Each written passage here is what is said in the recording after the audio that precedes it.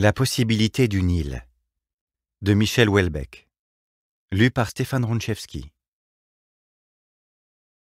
Comme il reste présent à ma mémoire les premiers instants de ma vocation de bouffon.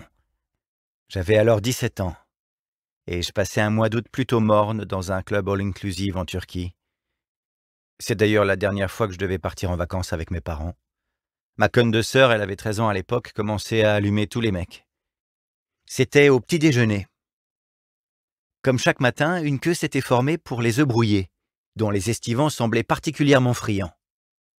À côté de moi, une vieille Anglaise, sèche, méchante, du genre à dépecer des renards pour décorer son living room, qui s'était déjà largement servi d'œufs, rafla sans hésiter les trois dernières saucisses garnissant le plat de métal.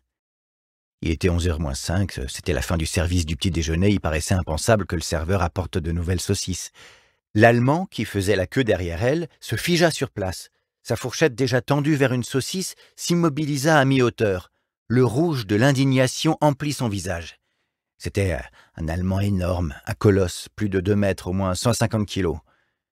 J'ai cru un instant qu'il allait planter sa fourchette dans les yeux de l'octogénaire, ou la serrer par le cou et lui écraser la tête sur le distributeur de plats.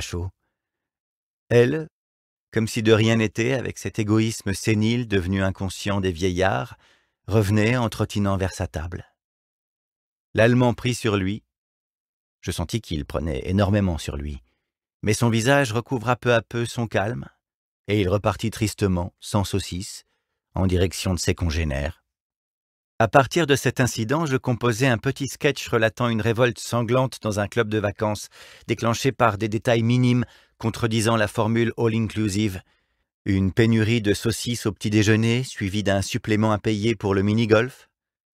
Le soir même, je présentais ce sketch lors de la soirée Vous avez du talent.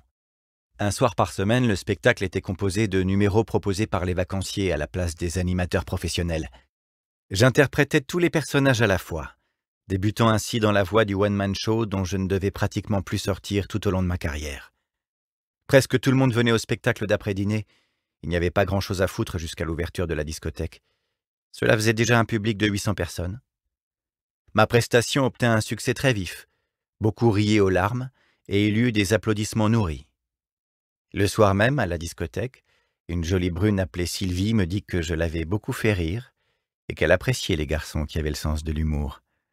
Chère Sylvie, c'est ainsi que je perdis ma virginité et que se décida ma vocation. Après mon baccalauréat, je m'inscrivis à un cours d'acteur. S'ensuivirent des années peu glorieuses pendant lesquelles je devins de plus en plus méchant et par conséquent de plus en plus caustique. Le succès, dans ces conditions, finit par arriver, d'une ampleur même qui me surprit. J'avais commencé par des petits sketchs sur les familles recomposées, les journalistes du monde, la médiocrité des classes moyennes en général, je réussissais très bien les tentations incestueuses des intellectuels en milieu de carrière face à leurs filles ou belles-filles, le nombril à l'air et le string dépassant du pantalon. En résumé, j'étais un observateur acéré de la réalité contemporaine. On me comparait souvent à Pierre Desproges. Tout en continuant à me consacrer au one-man show, j'acceptais parfois des invitations dans des émissions de télévision que je choisissais pour leur forte audience et leur médiocrité générale. Je ne manquais jamais de souligner cette médiocrité, subtilement toutefois. Il fallait que le présentateur se sente un peu en danger, mais pas trop. En somme, j'étais un bon professionnel. J'étais juste un peu surfait. Je n'étais pas le seul.